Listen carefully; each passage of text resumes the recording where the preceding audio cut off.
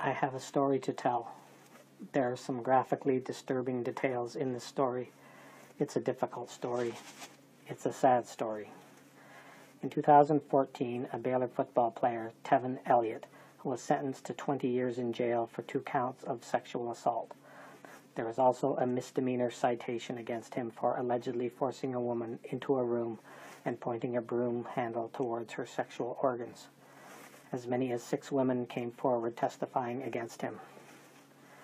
In the past year that followed, ESPN put forth two special segments of Outside the Lines dealing with Baylor and how they handled these situations. It cast Baylor as a haven for sexual predators with administrators who put their female students at risk by ignoring their cries for help. It seemed to be a university wide problem, from coaches to student help employees who ignored these women. Baylor then hired a private law firm who were commissioned to come back with a report outlining how Baylor handled these incidents. And then the hammer came down. In a nutshell, Baylor had failed the students of their university. They didn't ask the right questions, they didn't respond as they should have. The university came out with a response saying they were horrified with the report. Baylor had failed the women. Baylor had to get better. Lawsuits began piling up with the victims seeking compensation. Within a week, Coach Art Briles and others were fired or removed from their positions. Baylor recruits started looking elsewhere for a place to play. Baylor was burning. And the city of Waco, which has endured so much pain in their history, was back in the national spotlight again. The media response was relentless. How could they have done this? Was winning football games that important to them? This Christian school suddenly didn't sound very Christian. And Baylor was left with a huge dark cloud over their heads. Media outlets were calling them rape you. Art Briles and his administrators, rape enablers. There are many, many layers to this, but according to the Outside the Lines report, as reported by Paula Lavigne, the reported biggest failing in the whole sordid mess was the handling of the Tevin Elliott case. Elliott was convicted of two counts of sexual assault with as many as six different complaints from women.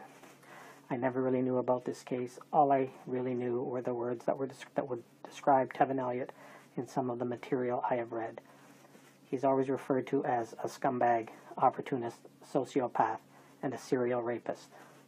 The 20 years the judge gave him seemed to validate that. It did seem like that as long as Baylor allowed Tevin Elliott on campus after some of these complaints, they're at least in some ways responsible. I listened to ESPN radio. I listen to Bomani Jones. He can be kind of funny. He has different takes on things, and I've found he is usually right. However, his take on Baylor was a little different than most. He wasn't quite as scathing as others. Mind you, he pretty much was of the opinion that Baylor had messed up. He mentioned how Baylor never used to be good at football and they had to take chances on athletes because they didn't have that many other choices. Then he mentioned a horrible case in the early 1900s when a poor black man was convicted of rape and murder and dragged through the city. He made a connection that things are a lot better now, but people in power still get what they want. That didn't make a whole lot of sense, but it was interesting that he brought up the case from the past. Then I read some of the facts that ESPN put out in their Outside the Lines feature, and I came across another line, a few simple words, and it changed everything. One of the victims rec- recounting her terror, her life since the assault, and she used the words, I now fear the big black man. And I thought back to Bomani and his rambling. Big black man. And I wondered what other words can I associate with this? Maybe poor big black man. Maybe not well spoken big black man. Maybe not well represented big black man. So now my perspective changes. I've always assumed everybody that called Tevin Elliott a serial rapist, a sociopath, were right. And maybe it's because, in a way, I also fear the big black man. A good friend always said that the guy with the best representation normally wins. And it seems rarely does the poor man have the best representation. So I had to go and look a little harder at Tevin Elliott and we are getting into some scary territory with some really serious implications. We are going to look in the other side of the room. It's kind of dark over there. It's a place I'm not familiar with, I'm not sure what I will find, but I went to take a look. So you search Tevin Elliott, and you mostly find in the reports that he raped a bunch of women and went to jail. Waco Tribune mentioned a few things that I found odd. Tevin's lawyer recommended probation, and he got 20 years. I'm no lawyer, but there seems to be a bit of a gap there. And there were comments from two of the victims. One basically said, Rot in hell, scumbag. The other said something to the effect that she hoped he didn't have to stay that long in jail. That really didn't sound like someone who had been victimized, but still, there wasn't much to see. But we scroll down a little further, and then things start to change. I come across a website that says Free Tevin Elliott. Based on what I'd heard before, that really seemed a bit far fetched. But then you start reading and reading, and it's, for lack of a better word, shocking. Police reports of victims that, by the admissions of the police themselves, make no sense at all. Poor and poorly represented. Then you listen to a very poor quality, grainy video that seems to represent two consenting adults with the woman not only consenting but instructing. And through all of the reports, I kept looking for a witness, a scratch mark, a bit of skin under fingernails, a witness who heard a cry for help. I didn't find any. I found examples of wild changes in stories, and the most troubling of them all was the claim that there was surveillance tape that could have shed Tevin in a position quite different from what the victim had said, but the key 30 minutes in question missing. Missing. Missing.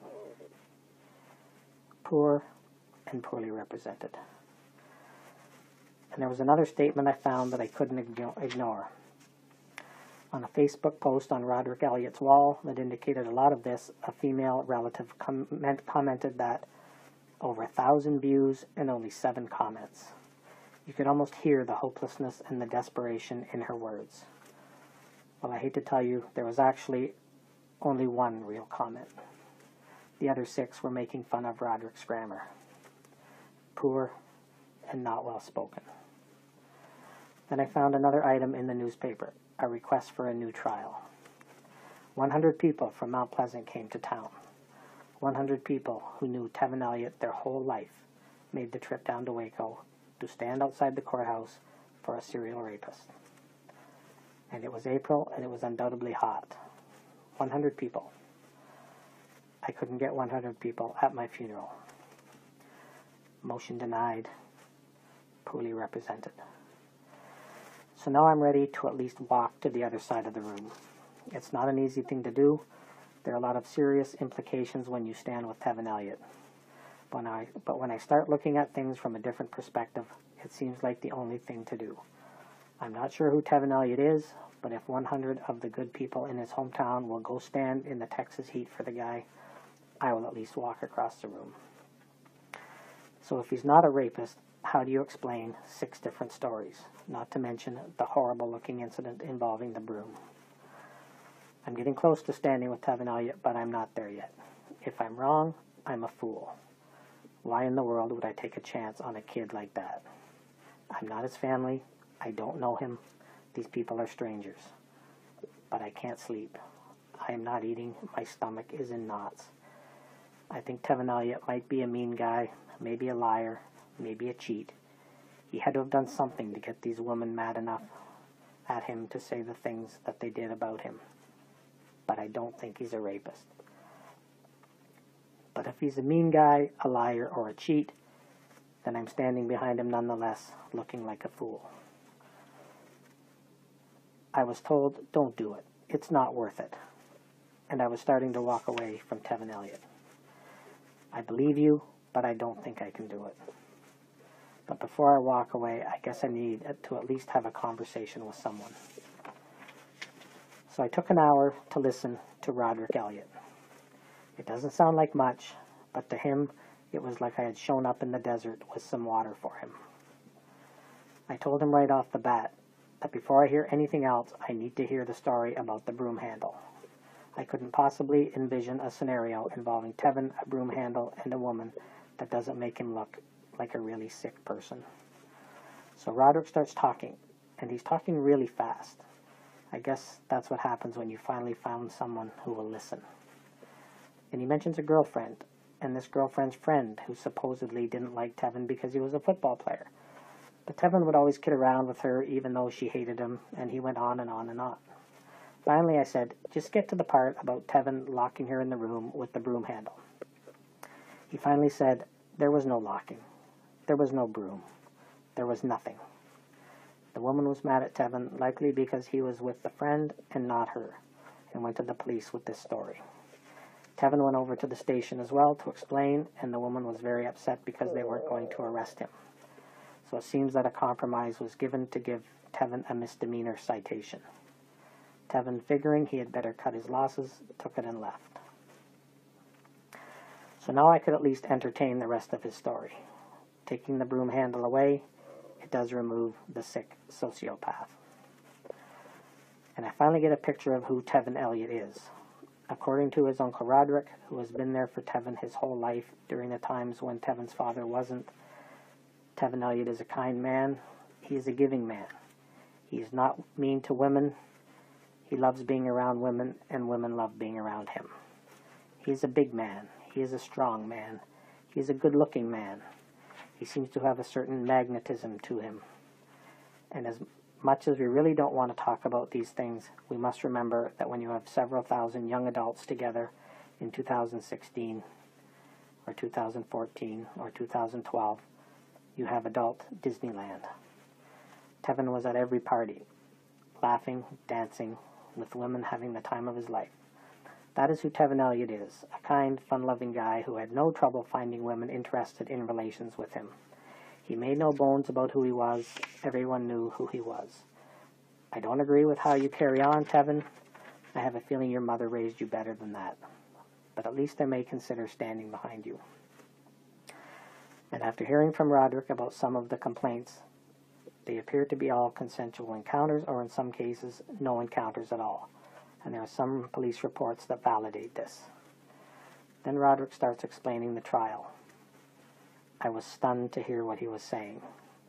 When he was finished, I wanted to be sick. I also wanted to cry. This was not a trial, this was an ambush. I just assumed he had poor representation.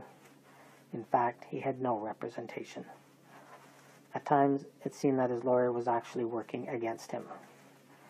Ironically, after the trial, it was revealed to the family that their lawyer previously worked as a prosecutor in that office. After each story, I had questions. Why didn't the lawyer mention that two of the accusers knew each other? If Tevin carried a screaming girl through an outside party of 200 people, surely there must be someone who heard it, or surely there was someone who saw Tevin walking with her. According to Rodrick, it seems that the lawyer did very little in bringing in witnesses, and the two guys that they brought in to testify for Tevin were quickly discredited as liars. More questions. Why did two of the accuser's friends ask Tevin to take them to the hospital with some of the accuser's clothes and never let on to Tevin that it was for the accuser? Tevin took them to the hospital not even knowing that it was for the person he was eventually accused of raping. An accuser at the trial actually mentioned that she was afraid of the black man and looked over at the one black man on the jury and said, Except you. And the surveillance tape, which would clearly show Tevin walking with the girl, laughing to their eventual encounter, somehow had the key time period missing. According to Rodrick, after the trials, it was later found and did in fact show the two people walking away. But by then, it was too late. Tevin was gone for 20 years. There are more questions, many more and with each one my stomach turned a little more. Bomani, you had the story correct. I asked myself, how did this happen? How was it allowed to happen? I guess there is only one reason. Violence against women is terrible, and the history we have bringing these women into court with their story is not great. Women have been assaulted outside the courtroom and then humiliated inside the courtroom. It is still an issue but the women's groups have gotten a lot stronger voice, much stronger. At times, the pendulum switches now to the other side. And the people in Texas will protect their women, as they should. And with the quantity of women coming forward in the broom handle incident, it was pretty quick to reach the conclusion that Tevin was the scumbag, the sociopath, the serial rapist, especially when he had little or no defense. And I have to ask myself, if Tevin, if Tevin was a scumbag, why would anybody stand with him? And if he was an innocent man, what would that look like? What would a mother look like after hearing that her son, who had committed no crime at all, was going to be gone for 20 years? She would look like Tevin's mother, lying on the floor outside the courtroom, sobbing uncontrollably, until the court officials ordered her to take it outside, not even allowing her to say goodbye to her son. Like I said, graphically disturbing scenes. And all I can say is, it's horrific. We have failed you. We have to get better. And I think of the hundred people with modest means who scraped enough money together to head down to Waco in hopes of a retrial, thinking finally that they might get justice for Tevin, only to be told, no, what happened here was fine. Tevin's father stated, Every last family member has texted me today, and now I'm the one to go back and tell them he was denied with no reason, no explanation, no anything. It hurts. Imagine the scene. Like I said, graphically disturbing scenes. And all I can say is, it's horrific. We have failed you. We have to get better. And after seeing the Elliott case and the blueprint it now established on how to get even with someone or to get out of an unfavorable situation, I now sit and wonder if there are more cases like this. So now I have no doubt and no reservation. I don't know where this goes. I don't know what happens to me, but I am now firmly standing behind Tevin Elliott. It is the only place I can stand. He's like thousands of other college students that live in a world where intimate relations are exchanged like candy. He should have been sent home to get sternly reprimanded from his mother on how to treat women. I'm sure Tevin's mother and uncle would have told him that he needs to treat them with respect, even if they aren't asking for it. It's the right thing to do. Instead, he got 20 years in prison. I'm no person of consequence. You don't need to see my face. All you need to do is listen to my voice. I am the voice of Tevin Elliott and the Elliott family. I am white, I'm not poor, I'm reasonably well spoken, and I represent myself well. I'm hoping maybe because of this you will listen and allow yourself to consider the move to the other side of the room. I know the implications of this. I know the risks. People have been removed from their jobs. People have changed schools. People have suffered great pain. People have received money. A major network that thought they were championing the defense of women made a monumental mistake. Come and stand with Rodrick Elliott and his sister, Tevin's mom. They are good people. Rodrick gets up every day and goes to church to pray for Tevin. Then he puts Tevin's name on his Facebook page so people don't forget about him. Every day. Maybe someone will see it. Maybe someone will come. Rodrick said two years ago God told Tevin's mother that someone would come. I think they thought maybe it was Paula Lavigne. Paula, you were a champion. You came to Waco to defend women. You went to the other side of the room to talk to Tevin. You let Tevin talk. You even mentioned some of the inconsistencies in your article. But then you walked away. Maybe you went across the room as a token gesture.